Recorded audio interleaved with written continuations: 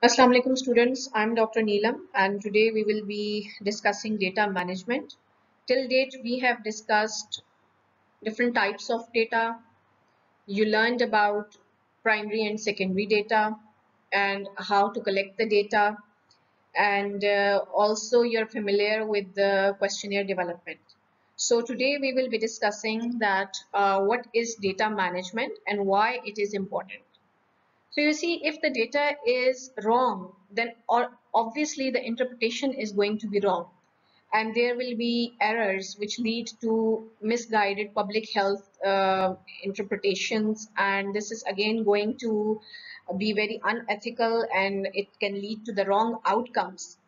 And all the policies and programs which are based on this data will obviously um, have a wrong results and uh, this is going to impact the health of the people at large. So the learning objectives of the sessions are by the end of the session students should be able to define data management and its importance, describe different steps of data management and list down the benefits of the data management. So what is data management? So data management is actually the compilation of the data and uh, it helps you to find your data in an easier manner.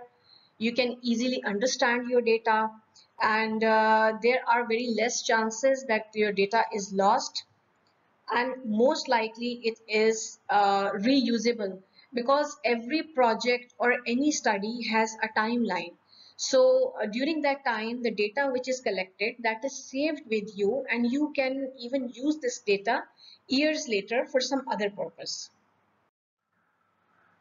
In this slide, we are going to discuss the management of data.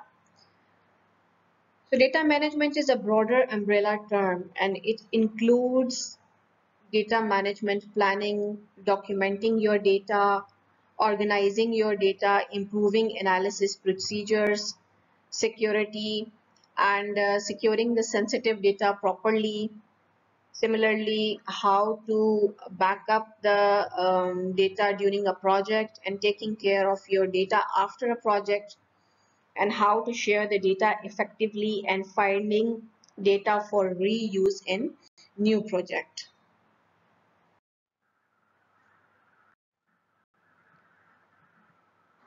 Why is research data management important?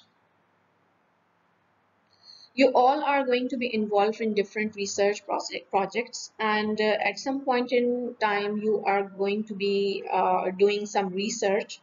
So the data which you will gather is going to be very valuable for your organizations and uh, for that proper data management is very important as it ensures that your information stays secure and never ends. A strong data management system usually protects your information from theft and attacks.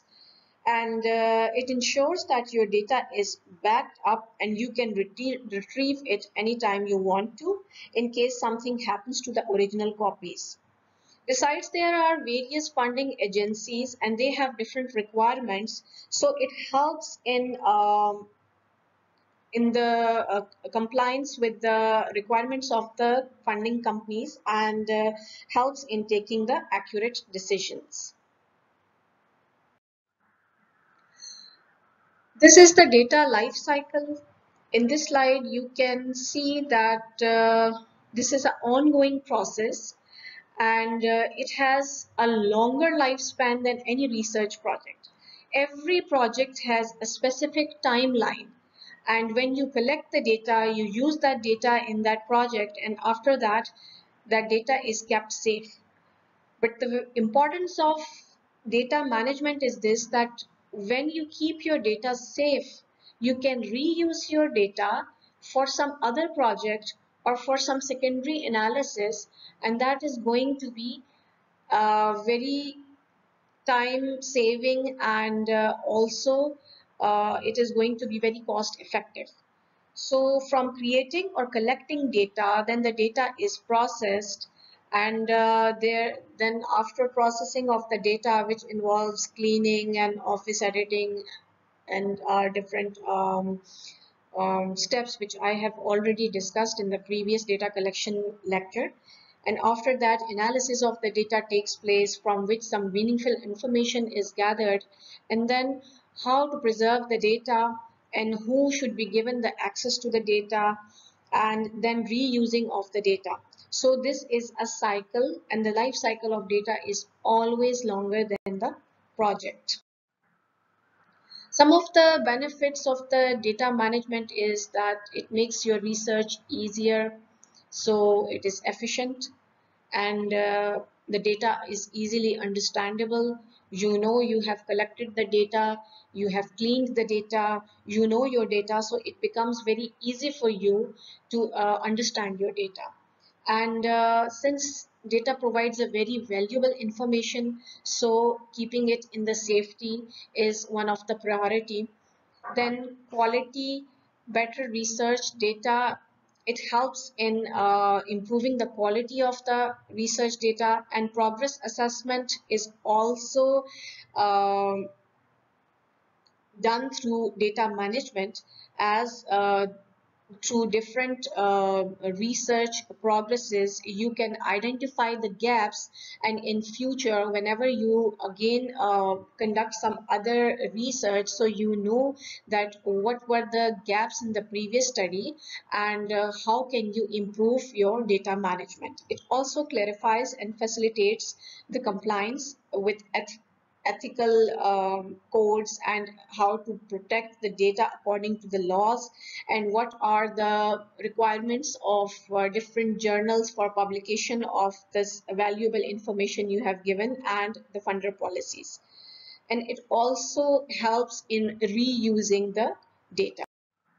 So in this slide we are going to discuss different data management processes it is very important to know about different processes uh, right from the beginning because uh, data management is something which goes side by side when the study starts. It is not something that you are going to do at the end of the project or your research. So uh, the first and the most important thing is that what data standards you are going to follow, what software you are going to use, and uh, how you are going to do the formatting of your data. So how you are going to translate your data or transcribe your data. Transcribing is basically done in the qualitative researches and then taking care of the anonymizing it means that uh, whether you take care of the confidentiality of your participants or not and um, how you are going to document your data and um, what uh, should be the strategies for backing up or storing of your data and how you are going to secure your data who is going to have the access to the data.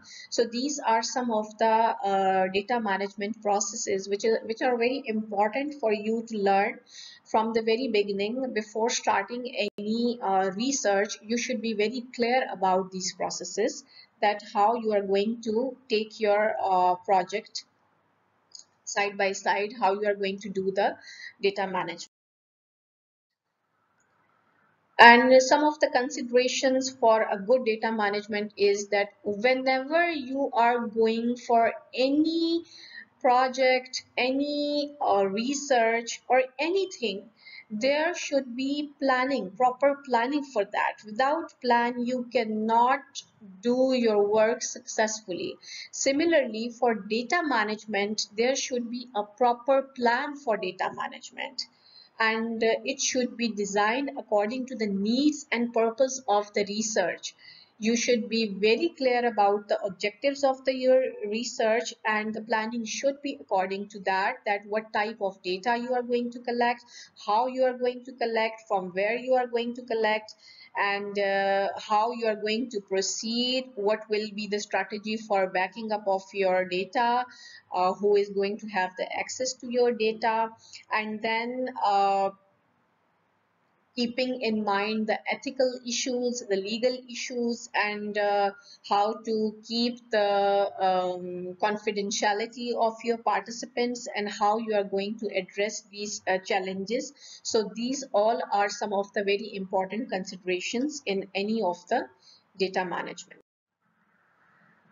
Securing the data. There are different strategies to keep your data secure since data is very important and it is very prone to be to theft or people do steal the uh, information and they do publish uh, it with their uh, name. So it is very important that uh, when you are putting all the hard work and when you are doing uh, so much uh, efforts in collecting the data then you should also be familiar with the strategies that how can you keep your data secure. And it is always very important that uh, whenever you uh, save your data you should save it on your devices and uh, besides the hard copies you should have some backup for your work be it at your workplace or at your personal PCs and there should uh, be maximum precautions with the personal data. If you are working on some sensitive data then you should also be very careful that how you are going to transfer that data. Do not email any sensitive information at all always keep your data in lock and key and besides keeping the hard copies there should be soft copies of your data. In case if anything happens to the hard copies you should always have a backup your data. And uh, you should always practice the rule of 3 to 1 so what does it mean? It means that you should keep three copies of any important file there should be the primary copy, there should be a backup number one and a backup number two. And the other step is that the store file uh, should be on two different uh, devices. For example, you can store your uh, data on your cloud, on your drive, and on your personal uh, PCs, along with um, your uh, desktop at your workplace. And uh, the third rule is which is um, one it means that at least keep one copy offsite. You should at least have one copy in the hard form. And backups always helps to restore the uh, your efforts and your data. And uh, always try to protect against software hardware failure and different disasters so you should always plan a backup strategy whenever you are thinking about any research and storing of your data. So just like we have discussed that data management is a continuous process that is from questionnaire to analysis or you can say that from cradle to grave data management is a continuous process. Whenever you start collecting your data the interviewers collect data and complete the questionnaires. These questionnaires are then uh, rechecked in the field and this is called the field editing. So the interviewers check the questionnaires and corrects any errors there and then and then return to the participants to verify the data whether um, the respondents have given the responses correctly or not, whether they were able to understand the questions or not. The next step is the office editing. As the name shows that it is done in the office. So whenever the data is collected, the field uh, editing is done and after that the questionnaires are uh, brought to the offices. So the supervisor checks the questionnaires and in case of any mistakes or any problems, the supervisor re-interview those respondents and corrects it. The very next step is the data entry and this is the very important uh, step as you have collected all the data, you have made the effort, but at this point, if the data is entered in a wrong manner, so your all your hard work is of no use. So a data entry clerk enters the data into the computer and different data entry clerks uh, enters the data into the computer on the second time. So there is always a second time data entry just to double check whether the data which was entered for the first time was entered correctly or not. And then these two files are compared for any typing errors and these errors are then corrected.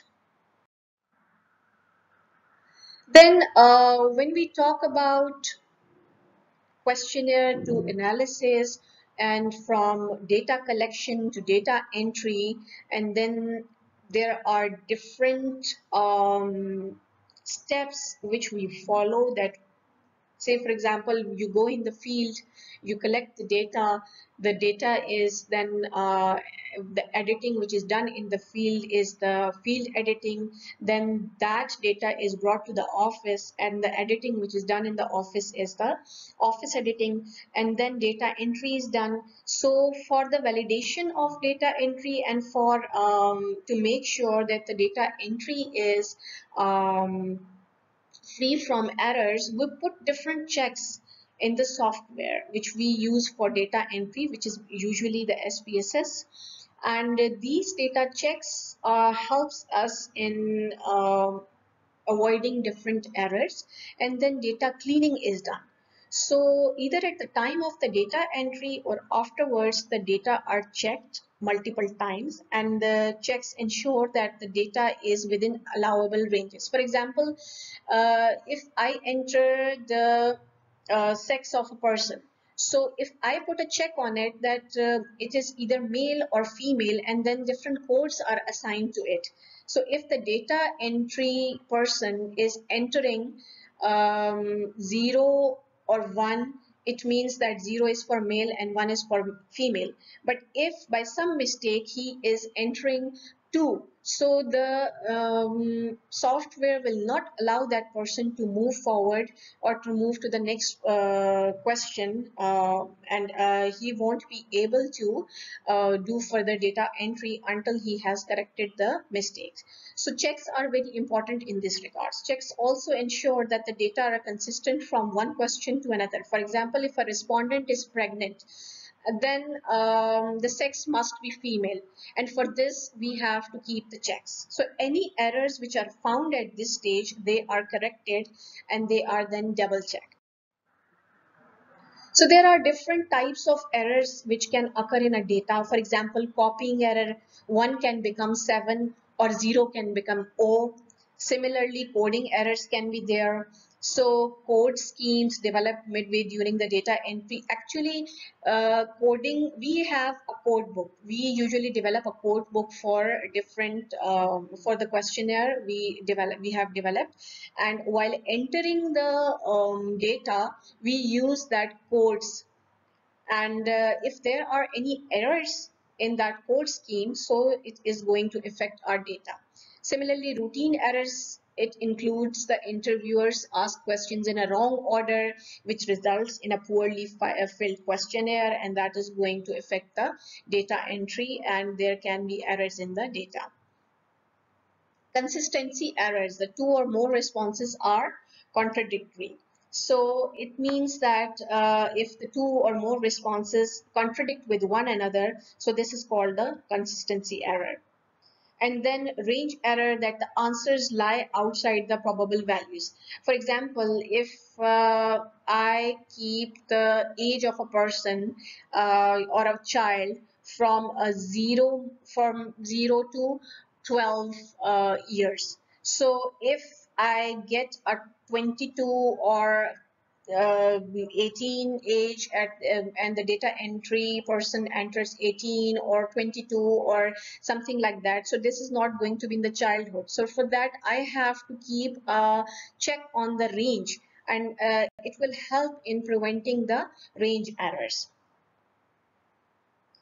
And then there are transposition errors. For example instead of 39 the person enters 93 so kind of errors are these uh, there and um, how to uh, validate that uh, the double entry of the data has uh, helped us in uh, uh, reducing the errors.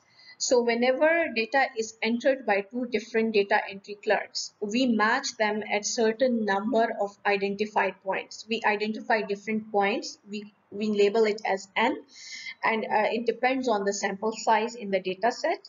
And then uh, we calculate the differences in the data entries at those points. And then for that, we calculate a percentage of difference. And then to get the double entered data validation, that percentage is calculated and it tells us about that how much the data is accurate. So this was all about the data management.